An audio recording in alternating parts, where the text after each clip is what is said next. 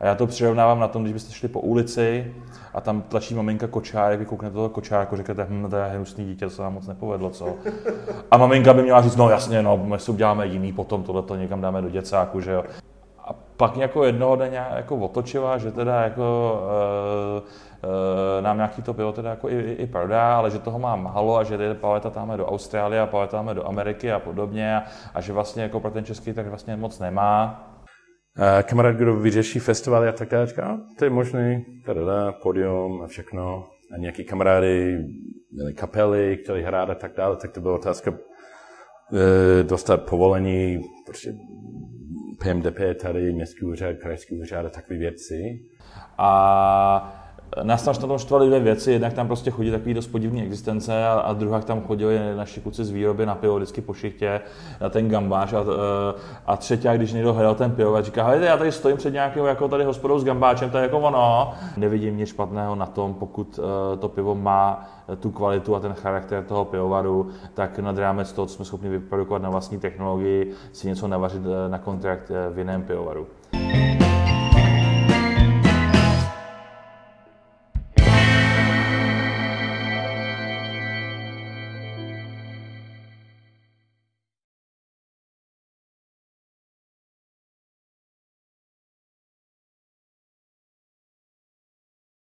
Přátelé, dobrý den. Já vás vítám v dnešním díle Osobnosti piva. Mám tady dneska dva hosty. Laďu Vrtiše. Dobrý večer. A Filipa Millera. Hi. Oba jsou z pivovaru Raven, takže přátelé, díky za to, že můžu tady být s váma a pustíme se do toho. Zde v Plzni ťukáme, ale... Jo, tak sorry, já tak vím, že to to, Čau. máte jinak, no. Čau. Čau. Kluci, zkuste nejdřív něco říct o tom, jak jste se vlastně dostali tady k tomu pivovaru a kde to celé začalo, protože asi máte docela odlišnou historii, co se týče piva a pivovarnictví. No, začalo to pivovarem Blahovar, eh, který dal dohromady eh, můj kamarád s plzeňským sládkem eh, Vládem Stuchlem. A ten pivovar vznikal tady v těch prostorách, které respektive pod námi v této budově. A myslím, že fungoval zhruba dva roky a já jsem vlastně pořád chtěl potom mým kamarádovi zjistit, jako kdy bude to pivo v Praze že už vařili docela dlouho a v Praze to nebylo k dostání, tak jsem ho pořád buzeroval, buzeroval a říkám, hele, tak ono to není tak jednoduchý, tak jestli jako máš čas, tak to jako do té Prahy zkus dostat. Tak jsem jim začal pomáhat a vozil jsem nějaký to pivo do Prahy, nakonec já jsem tam to pivo odvezl všechno.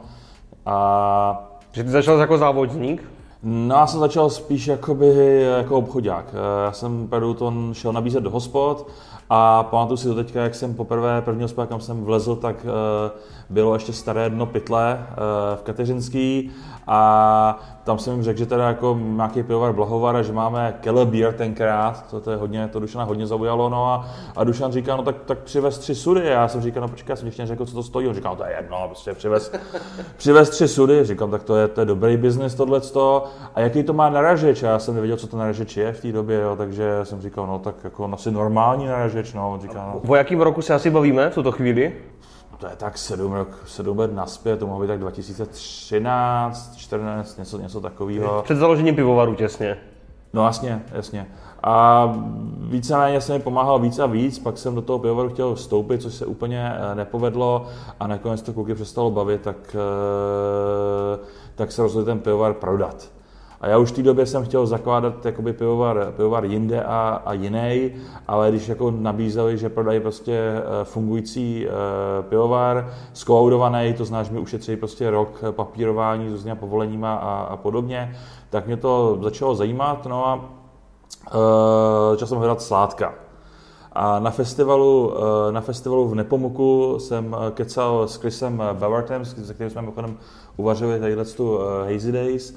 A, a Chris říká, no hele, jasně, tamhle máš, tam máš sládka a, a ukázal, ukázal tady, tady na file. No. A, takže takhle nějak to začalo. No, já se, jsem dlouho byl domovárník a prostě pivný nadšenec v Austrálii, jak jsem původně ze, ze Sydney. A v Sydney já jsem i před já nevím, 15 let chtěl dělat pivovar, ale tak ty ceny v Austrálii to bylo úplně, úplně nemožné. A pak pro nějaký jiný důvody jsem pře, přestěhoval do, do Plzně. v 20, 2006. A já jsem byl na každý pivní festival. Na... Proč jsi přestěhoval do Plzně? Co tě sem táhlo? No, jsem no, chtěl nějakou změnu. Uh, jsem, jen, jsem myslel, budu, já nevím, rok v Plzni. V konci jsem, jsem učil, jsem našel práci jako učitel na, na gymnázium tady v Plzni. A mě to bavilo, nějak 9 let jsem učil, ale to bavilo trošku méně každý rok, jako méně a méně. A tak jsem chtěl nějakou změnu, tak to byl ideální čas pro mě, protože jsem eh, rozhodl skončit práci eh, ve škole 2015 a pak jsme, já nevím, jsem myslel, budu mít trošku klid, jako, půl roku, nějaký malý projekty, překlady, takové věci. A pak nevím, další dva týdny a jsme poté už, už začínali připravit ten pivovar. Tak to, a ještě nebyl ten, ten klid, ten klidný. A klid asi už nebude. Mm.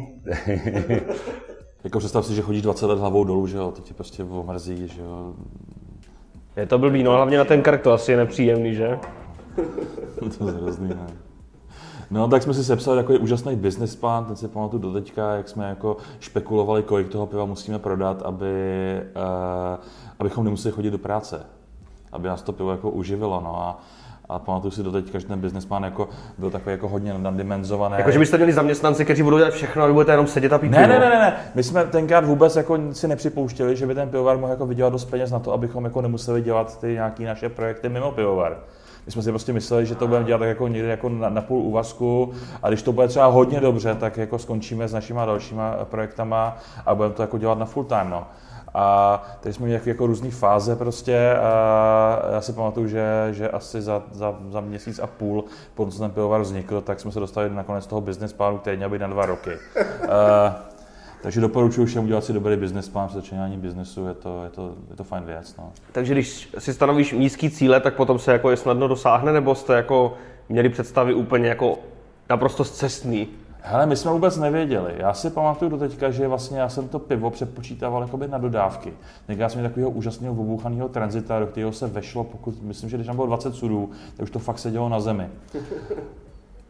A já jsem prostě nějak jsem nepochopil, že bychom mohli být nějaký závozáky, jsem si představil, že to celý odvozím sám. A přemýšlel jsem, kolikrát vlastně týdně budu muset jet, prostě, abych to jako odvezl. A ty celý jako objemy se mi zdály prostě úplně jako sci-fi, úplně prostě nereální, že to prostě nedokážu fyzicky odvízt. Že toho jsme se jako báli úplně nejvíc a z toho důvodu ty plány byly dost jako při zemi. No. Takže ta myšlenka na založení pivovaru jako vznikla, takže jste se potkali u piva po tom, co tvůj kamarád ukázal na Fila. U, u hodně piv, no. A ty jsi řekl jako, hey dude, I want to start a brewery, you're in. No, nějak, já, já jsem jej, když byl Blahovár, jsem tady byl dost často, ten Sládek, byl, my, my jsme několik let byli na, já, taky v Plzni je to malá scéna jako domovárníků a tak dále, nadšenci. Tak jsem tady byl dost často, i když byl Blahovár. Mm-hmm. A on vařil pár moje receptů a tak dále, když, když ještě fungoval Blahovár. Takže to bylo takové jako přirozené rozhodnutí. Mm. My jsme tenkrát hodně řešili, jak, jak, to, jak to udělat eh, s financováním toho pivovaru a jak to udělat jako s nějakými podílama a podobně. A nakonec jsme udělali strašně dobrý rozhodnutí, jsme do toho šli půl na půl. Uh, což strašně lidí nedoporučuje, že jo, říká se, že ideální uh, prostě podíl společníků je lichý a tři je moc. Uh, a nám se to hrozně osvědčilo, protože na začátku vždycky jako máte nějakou schodu, co chcete dělat, no a potom jak jde čas, tak když má někdo nějaký nápad a tomu druhému člověku se to nelíbí, no tak ten nápad se prostě nerealizuje a prostě zůstanete u toho, co, co děláte do teďka, co jakoby funguje. Takže jako tady ta patová situace je hrozně fajn, že když prostě někdo má jako nějaký prostě nápad, tak ten druhý může usměrnit a jako funguje to skvěle, hlavně prostě neřešíte, že když potřebujete něco prostě do toho investovat, nebo něco rozšířit, tak víte, že prostě uh, ten výsledek toho prostě bude dělaný, dělaný půl na půl mm-hmm. a absolutně prostě nemusíte jakoby tyhle ty věci řešit. No a třeba kdyby se jeden z vás jako zbláznil, tak co se potom stane? Ten pivovar poběží, eh, poběží dál tak, jak běží, že jo? Když nemáš, eh, když nemáš většinu na to, abys udělal nějaké zásadní no, proto se na to rozhodnutí, tak prostě poběží v tom, v tom duchu, v jakým je, v jakým je nastartovaný. Což je lepší varianta, než kdyby jeden měl 51% a zbláznil se. No tak to určitě. Takže pro vás ten status quo je vlastně jako přirozená věc a když se nezhodnete, tak se to prostě neřeší a hotovo. Jo. A je tady něco jako právo veta třeba v některých věcech. Máte nějak rozdělený jako role, kromě toho, že ty jsi jako spíš sládek a ty jsi spíš jako, já nevím, jak bych to řekl, obchod. Obchod. obchod. Mhm. Jo, to mám. A neznamená, jasně, já musím dělat, jako, jasně, nějaký crossover, že no, ať bude, budeme mít nějaký napady, co, co, uh, nějaký piva, který chceme vařit a tak dále, ale musím vyřešit pár biznesových věcí. A je třeba, že bys jako přišel za Láďou řekl, hele, tak prostě tohle je úplná kravina, to dělat nebudeme. A Láďa byl proti a ty jsi řekl, já prostě jako to nechci, abychom to dělali a, a tak to skončí? Rozhodně. To občas tak půl roku a diskutujeme znovu nebo co. Jako, že taky je trošku otázka priorit a tak dále. To, to, i když dělat něco nového, co, co je urgentnější. Uh-huh. Určitě to nemáme tak, že by Phil měl poslední slovo v receptech a poslední slovo v obchodě. Je to tak, že jako Phil věč, věnuje většinu času receptům eh, a výrobě a věnuje většinu času obchodu. Zjednodušeně řečeno, prostě Phil ten sutaj vytlačí na rampu a já to převedu na té rampě a řeším to dál. Jo, jo. Uh, ale uh, samozřejmě eh, já kecám Filovi do těch, do těch receptů nebo do toho, co se jako bude vařit a, a on mi kecá do toho, do toho obchodu a opět pokud tam prostě nedojde k té schodě, tak prostě se nějaký ten projekt eh, nerealizuje. Uh, takže to právě to tam funguje a podle mě to fakt dobrý, jako, do, fakt dobrý princip, jak neudělat nějakou, nějakou blbost. No. Mm. A dost často se říká, že třeba dost často eh, platí, že třeba za půl roku se na to sedneme znova a jeden z nás prostě změní názor a ta věc se, eh, se zrealizuje. Eh, já jsem třeba hrozně dlouho bojkotoval tu hospodu, v ní, v ní sedíme, říkal jsem File, prostě hospodu v žádném případě prostě otvírat nebudeme, to, to je prostě hrozná blbost a, a všichni říkají prostě, jak vás tam okradou a podobně, no teďka máme dvě, prostě uh, lituju, že jsem to jako neodsouhlasil o půl roku, o půl roku dřív, no. No a budete třeba dělat nějaký další hospody, třeba i jako nějakých více ostalých částích republiky, jako v Brně nebo? No tak Brno to už je hodně zaostalý, tam to, to bychom se báli, no, tam, tam se pije to staro Brno a to, jako to moc nechcem, no.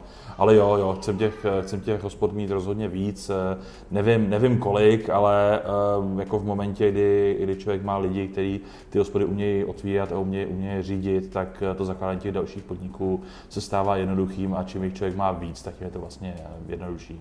Jasně. Čili přátelé, jako model 2 spolumajitele 50 na 50, fungovat asi může, ale předpokládám, že to vyžaduje značnou míru tolerance a nějakého jako pochopení a schopnosti se spolu domluvit, protože asi to není úplně pro každého tohle podnikání a asi ani tenhle způsob fungování. No, my tím, že jsme každý zaměřený úplně na něco jiného, tak já, já opravdu nevím, jako u tohohle piva, uh, prostě, jaký je tam podíl prostě té citry, já vám to prostě neřeknu, takže uh, nebudu jako lobovat za to, aby tam dalo prostě o 5% eh, daného chmele víc a uh, Phil, Phil neví, jaký máme obraty u jakých uh, odběratelů a jestli jim prostě uh, máme poslat prostě skleničky za, nebo prostě za, za 60 korun, takže uh, tam jako si do zaví nevezeme z prostého důvodu, že na to máme vůbec kapacity to řešit. A já bych řekl, že tak třeba jako ročně může přijít jedna věc, na, na, který, je, na který je neschoda a jde teda buď se vzájemně přesvědčíme, anebo prostě to vetujeme a, a tu věc neuděláme. Myslím, že nějaká jako těžká neschoda může být tak odhadu jednou, jednou ročně a myslím, že to vždycky proběhlo jako velice v době, že jsme se shodli, že se neschodneme prostě a, te, a tu věc prostě neuděláme. Jo. Takže vy jste taky samaritáni, vy to děláte pro lásku k pivu? Jednoznačně, no. Uh, ne, tak jako my máme víceméně minimální mzdu, že jo, s filem a všechny ty peníze, vlastně, které vyděláme, tak reinvestujeme. Tam je důležité říct, že my jsme tady ten pivovar založili s kapitálem zhruba 3 miliony, pak jsme to ještě milion zhruba přihodili, takže náš jako základní kapitál je asi 4 miliony, což jako ve většině pivovarů prostě těch větších mini českých prostě to stojí třeba jenom prostě vybavení varny. Dokonce to bývá dražší, myslím, že máme cenovou nabídku jako na 20 varnu kolem 5 milionů eh, korun, takže my jsme měli dohromady 3 mega a s tím jsme museli prostě vyřešit úplně všechno, prostě auta, sudy, eh, sklo, Eh, no a my jsme se nechtěli zadlužovat, takže jsme to prostě celý jakoby investovali z toho prostě, eh, z toho cashflow toho, eh, toho pivovaru a takhle to je do teďka. Vy dva provozujete jeden z nejpopulárnějších pivovarů v Česku, asi možná jeden z nejlíp hodnocených, když já na tady ty Rate Beery a Beer Advocate moc nevěřím, ale pivo mi chutná, tak to je asi ten základ. Co je pod vás klíčem k úspěchu? Hmm, to je, myslím, aspoň zkusíme, že vlastně pitelnost a tak dále je hodně důležité dělat nějaký trošku lepší piva, který mají charakter, že není jenom úplně obyčejný pivo, ale má charakter a stejně to pitelnost je dost, že, že někdo chce víc a víc. A od začátku jsme zkusili dělat uh, nový, piv, nový piva, takový zajímavý, zvláštní, používat uh, jiný ovoci, věci jako od začátku, kávu, kávu, čaj a tak dále. Jak jsem byl rád, že kyseláčky jsme začali před pěti lety a v té době bylo docela těžké vysvětlit, co to je za styl, jak to má být a že teďka tolik pivovarů to, to, to vaří. Um, no tak těžko říct, jako přesně jak je um, bilance, to, to, to jako, jako, že myslím, ale pro nás je dobrá věc, že máme dost, dost velkou nabídku, tak snad každý najde něco, co, co chce pít. Jasně. A co je možná výhoda, že máme docela malou várnu a tak dále, tak vaříme hodně a můžeme vařit hodně jiný, jiný piv. Mhm, mhm. Čili široká nabídka, hodně různých druhů piva a být jako na začátku správně nastavení.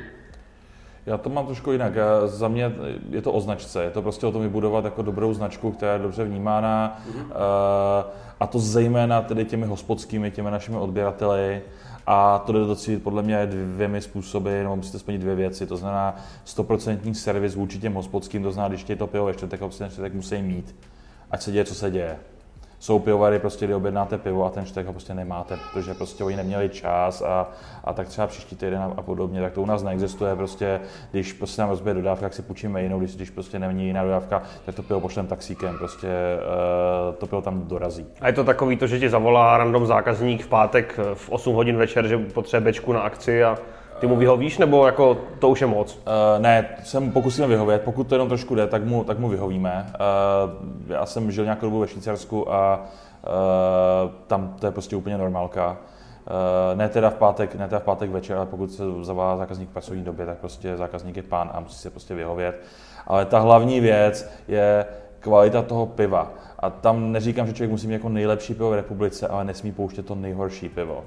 A tam ten problém, nebo to, kdy si myslím, že máme obrovskou výhodu, je, že máme jasně prostě oddělenou uh, tu výrobu od té distribuce. A problém velký množství, velkého množství eh, českých mini je v tom, že ten, uh, že ten sládek vlastně zastřešuje jak tu výrobu, tak ten obchod. A pokud ten sládek uvaří pivo, který je kontaminovaný nebo který se mu prostě strašným způsobem nepovedlo, tak málo kdy je ochotný přiznat, že to pivo prostě je na vylití. A já to přirovnávám na tom, když byste šli po ulici a tam tlačí maminka kočárek, vy kouknete toho kočárku, řeknete, hm, to je hnusný dítě, to se vám moc nepovedlo, co? A maminka by měla říct, no jasně, no, my si uděláme jiný, potom tohle to někam dáme do děcáku, že jo. Tak takhle to nefunguje, že jo. To maminka bude to dítě bránit prostě do posledního dechu. A tak prostě Phil ty piva prostě bude bránit do, do posledního dechu. A z toho důvodu je fajn, že prostě já, já jako přijedu z té Prahy, že jo, prostě nemachrovaný, tak k tomu čuchnu a řeknu, hele, file, tohle, tohle je fakt hnusný, to dáme na kanál. Což se občas stane a už teda teďka díky bohu méně, a i když s tím prostě mnohdy nesouhlasí, tak to pivo prostě zlikvidujeme a nepošleme to tomu hospodskému. Vy jste před časem se začali nějak věnovat eh, tomu, co dělala Jitka, Wild Creatures. Jak to vzniklo a co od toho máme čekat? No, to je hrozně vtipný. Eh, já mám chatu kousek od Mikulova, eh, kam, kam jsem pravidelně jezdil a eh, vždycky jsem tam jel, tak jsem říkal, ty krása, já mám tady prostě 10 kilometrů, prostě mám od sebe ty Wild Creatures, tak já tam zajedu a prostě koupím si nějaký ty lahváče. Tak jsem tam vždycky zajel, zabušil jsem, vykouk, vykoukla úplně prostě urvaná, urvaná jitka a říkám, hm, já vám nic neprodám, prostě já nic nemám, když jsem jí hodně ukecal, jsem pivovarsky, tak tam třeba rozdal jednu, jednu třetinku prostě a říkal, tak děkujeme za návštěvu a nashledanou. Uh, no a už jsem asi po třetí, po čtvrtý, uh, tak jsem jako nějak jako se snažil fakt jí, fakt přesvědčit a ona, že furt, furt, furt ne, ne, ne. Pak jako jednoho dne jako otočila, že teda jako uh, Eh, nám nějaký to pivo teda jako i, i prodá, ale že toho má málo a že jde paleta tam do Austrálie a paleta tam do Ameriky a podobně a, a že vlastně jako pro ten český tak vlastně moc nemá. A tak jsem jí, když jsme se trošku poznali, jak jsem jí začal jako řík, vysvětlovat, že teda jako, je to naprosto fantastická věc, co dělá. Tenkrát to skutečně byl jediný jako spontánní uh, pivovar uh, v České republice a možná jako i v docela velkém dosahu. A uh, říkal jsem, hele, tak, prostě, tak to zvěč, No a jako furt, furt, furt ne, ne, ne, no a jedno, jednoho dne, já už nevím, jestli mi to řekl, nebo mi zavolala, říká, hele, tak já to, já to teda zvětším, ale když do toho se mnou. A to byla zrovna ta fáze před tím eh, A to jste to jako lety. nějak probírali jako u piva, nebo to bylo úplně jako z čistá jasna, potom co tam furt jezdil si pro škopek? No, myslím, že jsme to někde probíhali ve vinném sklípku eh, po pár, po pár vínech a pivech a ono to přímě, a něco mezi tím, že jo, ty sponťáky jsou někde mezi tím vínem a tím pivem. A to byla zrovna ta fáze, kdy já jsem si říkal, tak a teď prostě se musím uklidnit, zredukuju tu svoji pracovní náplň a budu se věnovat té rodině. A asi tak jako 14 dní potom jsem s tím tím přišel a doma to obrovský ovace, že mě konečně děti uvidějí, jako mám dvě, dvě malé děti, že jo, doma, uh, tak přišla Jitka s tímhle s tím, jo.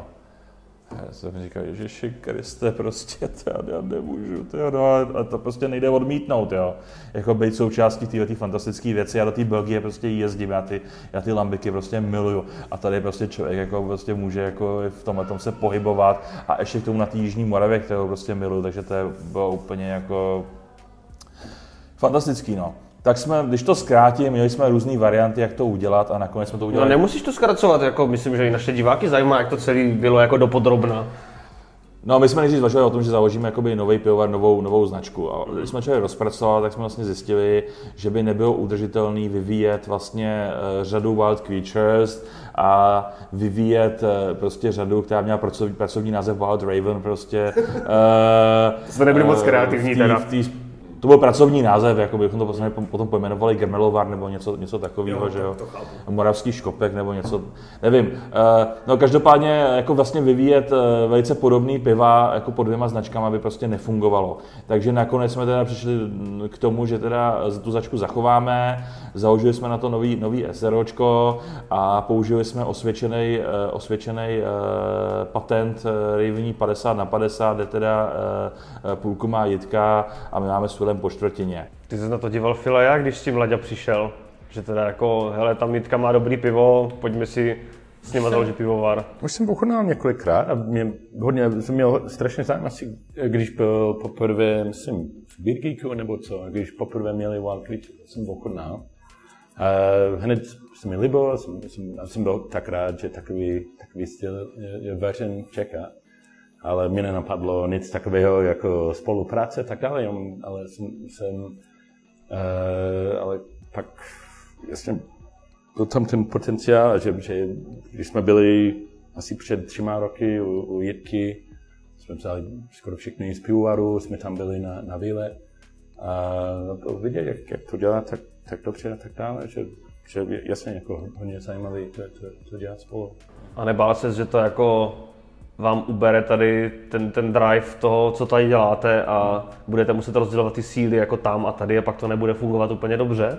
No, jako pro mě, jako nej, nejsem tam profesor Ladě, Ladě je docela pravidelně tam uh, uh, u ale pro mě to nezměnil věcí tolik. Jako akorát občas logistika nebo jak, jak děláme věci, ale uh, ale v té době už snad věci byly trošku pod kontrolou tady, že nebyl že byl možný dělat jiný, jiný projekt, projekt navíc. To bylo jako rozfázovaný, takže to fungovalo. Tam vlastně ten, ten obrovský nápor byl, že my jsme stavili nový pivovar, takže uh, my jsme to přesunuli z Mikulova do Dolních Dunajovic. Uh, v tom uh, Mikulově těch sudů bylo pár, teď v Dunajovicích těch sudů je nějakých 150 a máme tam kapacitu nějakých 250 uh, dřevěných 200 litrových sudů po francouzském víně. A když jsme to stavili, tak to žalo hodně času a i jsme na to prostě tady používali naše zaměstnance, kteří byli tak hodní, že si jeli na týdenní poznávací zájezd po vlastech moravských a, a stavili tam prostě podpanové stěny a chlazení a nevím co. Ale jakmile ta stavba vlastně skončila, tak ten, ten nápor není takový, protože tu výrobu si dále prostě řídí Jitka a já řeším tu distribuci a to finanční řízení toho pivovaru a de facto to je to, co děláme v Ravenu přes kopírák, takže já když prostě objednávám ty, ty kartony, tak prostě objednám jedny, jednu paletu pro Ravena a jednu paletu pro Wild Creatures, tam tam prostě jinou, jinou adresu a není to jako nějaká extrémní, extrémní zátěž. No. No a ten, ten pivovar jako už, už jako funguje, nebo máme teďka čekat tři roky, než se to pivo jako odleží, nebo jaký je to v stavu? Ty zásoby jsou omezený, protože to spoždění toho, když jsme spustili tu velkou, tu větší výrobu je skutečně průměrný stáří piva je kolem roku, bojujeme se mezi 6 měsíci a třemi lety. Eh, takže samozřejmě ty, ty zásoby se nám jakoby zvětšují eh, postupně, takže nejsme schopni třeba teďka, teďka máme skladem jako fyzicky dva nerezové sudy a tím, tím, to, tím to končí. Eh, máme zhruba skladem 5000 lahví, z nich ta polovina už je objednaná, teďka posíláme 8 palet do Číny třeba. A Uh, takže nejsme třeba schopni jako vůbec řešit Ameriku, na, na to jako nemáme čas že pomalinku to roste, ty prostory eh, po technologické stránce jsou hotové, eh, nicméně ještě tam musíme udělat nějaký zázemí pro ty návštěvníky, takže zatím prohlídky možné nejsou v těch Dunajovicích a jako dáli, dáli Bůh a dáli eh, stavební krize a bude nějaký materiál a, a dělníci, tak na jaře bychom chtěli udělat den otevřených vrat, kdy vás teda všechny pozveme do, do Dolních Dunajovic, abyste se prostě podívali na ty, na ty sudy a ochutnali nějaké, nějaké nové dobroty. A už si teďka můžeme teda koupit flašky někde na e-shopu, nebo? Rozhodně. Jo. Eh, běží to přes ravní, ravní e-shop, na ravním eh, e-shopu je, je sekce Wild Creatures, tak eh, to je asi nejlepší varianta. A normálně nám běží velkou obchodní distribuce. Máme krásný lahve s tiskem přímo, přímo na lahvi, jsme se teda dali hodně práce.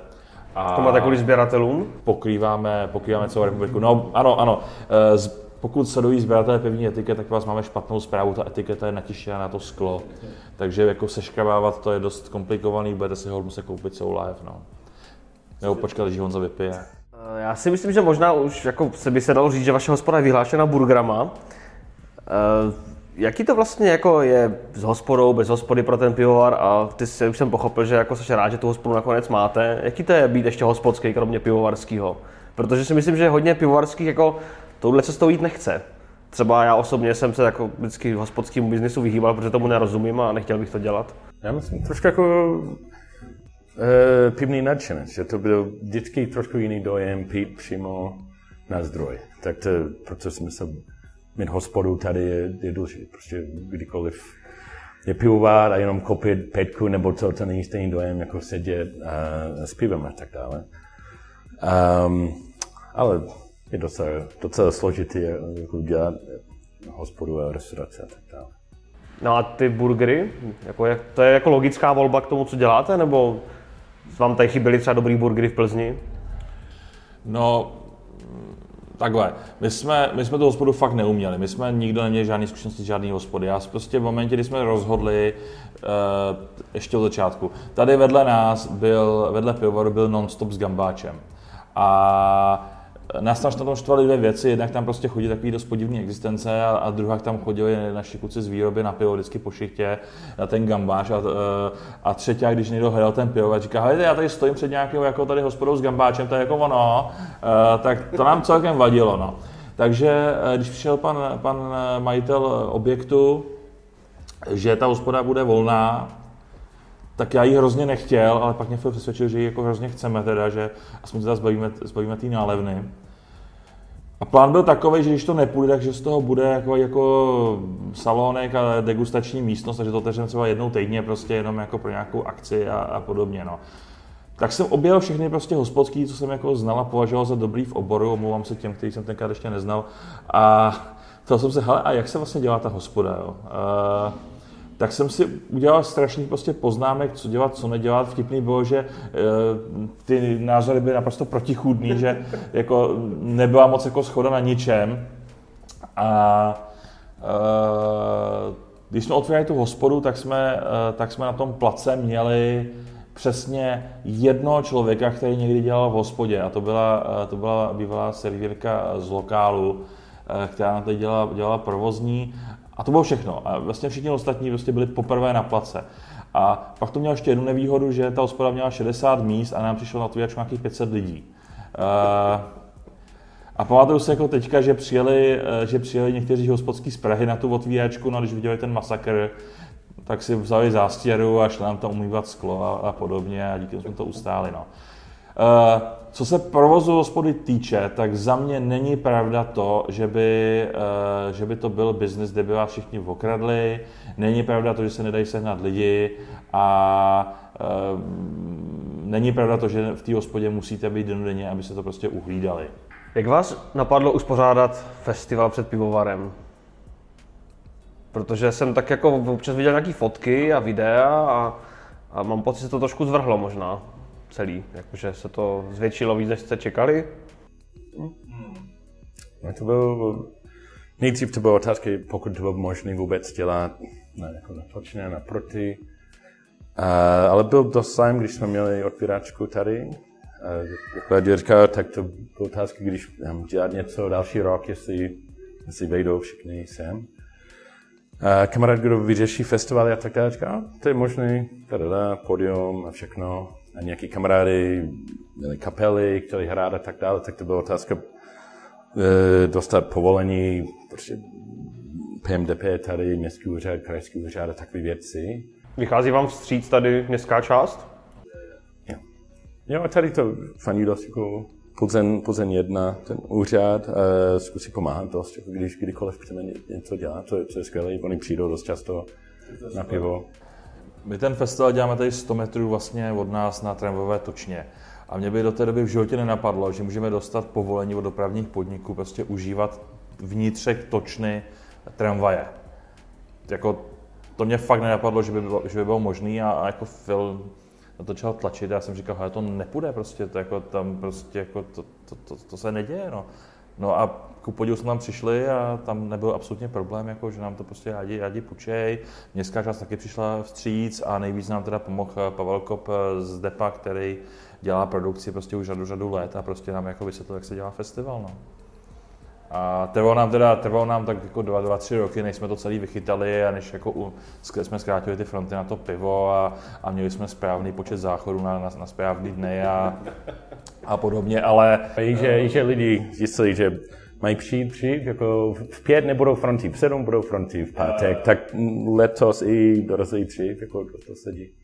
Uh, jako není to, není to sranda, trvá to pár než to vychytáte, ale jak to vychytáte, tak letos už byl první roční, kdy to bylo celý na pohodu a všichni věděli, co mají dělat, kdy mají dělat a uh, myslím si, že, že, že to jako má nějakou úroveň. No. To je tak možná jako jedna, dvě otázky.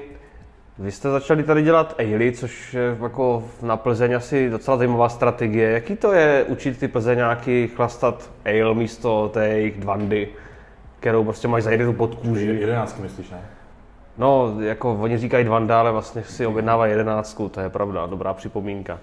No, každopádně Plzeň je město ležáků, ať už chceme nebo ne, a vy tady děláte Ailey od začátku. Jaký to je?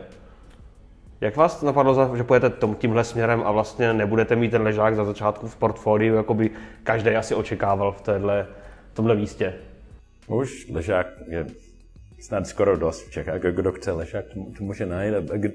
Když jsme začali, byl, jsme byli tak malí, že měl víc smysl dělat něco jiného, než, než ty, ostatní jako větší mini pivováry, které dělají uh, hlavně, hlavně ležáky. Já když jsem byl domovárník v Austrálii, jsem neměl chladák nebo co, tak vařit ležáky v Sydney, docela těžký. Jsem jednou zkusil v zimě, jsem myslel, a jenom, jenom 15 stupňů během ne, vařím ležák. Tři dny a už byl 25 stupňů v garáži a tak to moc nešlo. Tak já jsem vždycky vařil Ailey doma, tak když jsme začali aspoň jsem chtěl, že vaříme to, to myslím, že umím trošku, jako, že, že jak, to, jak to má být a tak dále. Tak to, a ležák, jako když jsme začali vařit ležák, to bylo trošku víc stresu. Jsem se jako v Plzni uh, dělat ležák, tak jsem vždycky rád, když někdo říká, jo, dobrý ležák, že máme. A, ale a i, i, v té době byl asi už, už když před 6 let už byl zájem o, o Ailu a nebyly tolik jako dobrý Ailu jako všude tak v Čechách. Mm-hmm. No já se na to ptám, promiň, hlavně z jednoho důvodu, protože když jsem tady byl onená na festivalu za Výčepem ještě, tak tam chodili takový ti rouškové a říkali, a vy si nějakou dvandu. A já říkám, no my tady máme jako jenom svrchňáky. O, máte něco, co chutná jako prazdroj? A říká, ne, jako fakt, fakt ne. A, o, tak děkuju. A šel pán pryč. Tak tohle s vámi se taky stávalo, ne? Docela dost. Když jsme tu hospodu stavěli, tak vždycky chodili kolem lidi a říkali, jo, to bude hospoda, to je, to, je, to je super. A gabinu budete mít, že jo? A my jsme říkali, no my jsme, my jsme pivovar, tak jako nebudeme, no. Jste úplně blbý prostě, to, to jako nebude fungovat, no.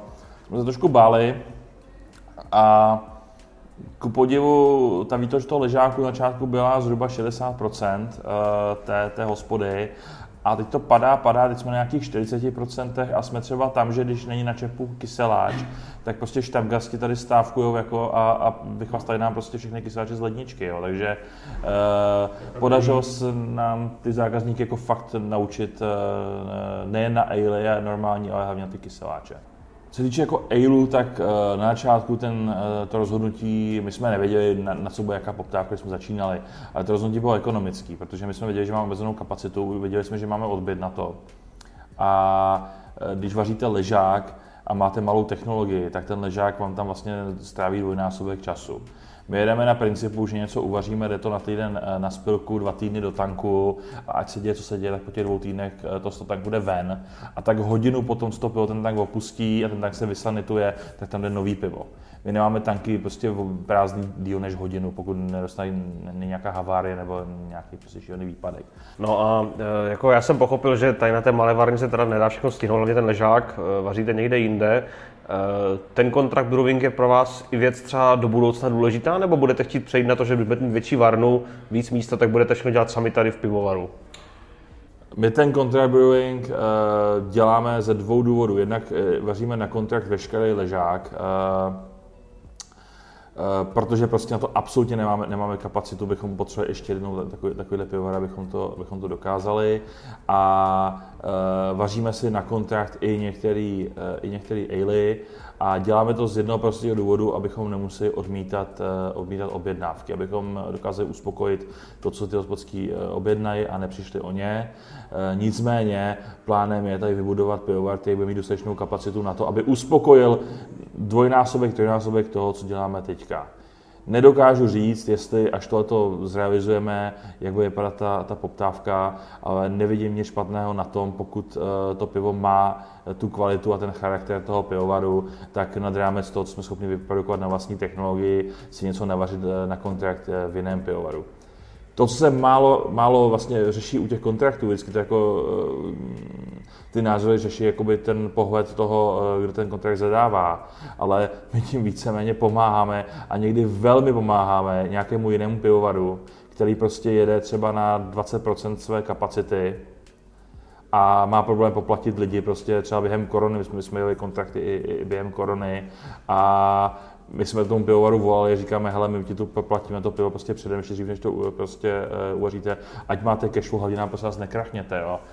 Uh, takže oni ty kontrakty dost pomáhají některým těm uh, pivovarům vlastně ufinancovat ten velký, velký prostě výrobní prostor, který sami neumějí naplnit, takže já myslím, že to je docela, že to je docela užitečná věc a nevidím na to vůbec nic špatného. Čili chceš říct, že ten pohled jako obyčejného konzumenta, že to je vlastně něco špatného a podřadného a takového jako zjednodušujícího pro, ten, pro toho, ne, pro toho zákazníka, pro ten pivovar, takže to je jako špatný pohled, že to takhle to vlastně není. Běžný konzument díky bohu vůbec neví, že nějaký kontrakty existují. Uh, oni mimochodem existují i jako u velkých pivovarů. Uh, spousta velkých pivovarů třeba není schopná vůbec vyrobit pšenici, uh, taky kontraktují u jiných. Spousta velkých pivovarů není schopná vyrobit nealko, taky kontraktují u jiných. To znamená vlastně jedno, jedno nealko je třeba přebrandovaný na pět různých na pět různých značek. To je úplně běžná, běžná praxe a já to naprosto chápu. Prostě, takže děje se to, děje se to ve velkým a fakt si nemyslím, že je to něco špatného do doby, pokud ta kvalita toho kontraktu je srovnatelná s kvalitou vlastně toho samotného pivovaru. Takže jako v momentě, kdybychom řekli, hele, tamhle prostě pivovar XY, prostě, který má naprosto příšerný infikovaný piva, nám to nabízí za polovinu, pojďme to prostě vařit tam, eh, tak je to blbě. V momentě, eh, my jsme třeba začínali naše největší kontrakty, že jo, eh, nejvíc jsme toho navařili pivovaru Zikovec, jo kde ta technologie prostě je naprosto špičková, eh, takže spousta těch várek prostě byla mnohem lepší, než jsme byli schopni uvařit, uvařit tady. A myslím, že ti zákazníci na tom prostě nebyli bytí, jsme to vařili tam, byl to, byl to náš recept, uvařený lidma, kteří věděli, co, co dělají a nám se nikdy nestalo, že by ta kvalita prostě byla jako jiná než naprosto špičková, takže uh, tam ten zákazník není o ničem, o nic ochuzen a je to jenom prostě o tom, že to vaří, vaří jiný člověk na, na jiný technologii. A upřímně, pokud by se ty piva neměly na pěti, by se, kdybych měl vedle sebe ty dvě skladničky tenkrát, ty White Ipy, kterou jsme tam vařili, tak bych asi jako měl docela problém poznat, která, která je odkaď a ten běžný konzument to nepozná vůbec. Na čem teďka pracujete? Na co se můžeme těšit v blízké budoucnosti, mimo teda Wild Creature, co jsme už zmínili? Co je teďka vaší aktuální agendou? Mm, Zítra vaříme novou nejpu, uvidíme. Druh číslo 684, Pozor, my máme asi tři jenom. jenom tři. My jsme taky zaspali s těma nejpama, no. Já jsem vždycky měl pocit, že vy máte jako úplně mega moc druhů piva totiž. To jo, a ne nejpy. Nejpy, když počítáš uh, série Gunk se Zvučákem, kolaboračních jsou nějaký 4-5, ale malé varky u Zvučáka, ale jinak naše to bude čtvrtý, jo, který vaříme tady. Tak to bude novinka za jako příští měsíc. A, ale jinak vaříme hodně piv na, jako, jako už, už jsme vařili dýňový pivo, no, no, no, no. Eh, jasně bude nový Black Label, a i Pineapple Upside Down Cake bude v zimě, co jsme dělali nějaký zkušební varky eh, pro pár akcí. A tak to je teď zatím, co je plánován, i děláme ty série piv pro Pražského zoo. So, vaříme znovu, že budou mít před Vánocem. Z velkých projektů nás čeká uh, velký rozšíření. My jsme vlastně, my už 6 let vaříme na 5 hektolitrový varně. Takže budeme od pondělí do soboty dvě várky denně, každý týden, svátky, nesvátky, prostě furt. Uh, jedině teda v neděli si dáváme pauzu, máme a to většinou sanitujeme teda. A i na štědrý den se vaří? Promiň? Na štědrý den se taky vaří? Na štědrý den se nevaří, to jsme trošku vyměkli, ale vařívalo se, vařívalo se. Uh, byly časy, kdy to pivo fakt nebylo a prostě museli jsme. No. Uh, takže um, my potřebujeme zvětšit tu varnu, jenomže ten problém byl v tom, že my jsme ten objekt nevlastnili, teď už ho vlastníme díky bohu a nemohli jsme to dělat jako nějaký rozsáhlý stavební úpravy.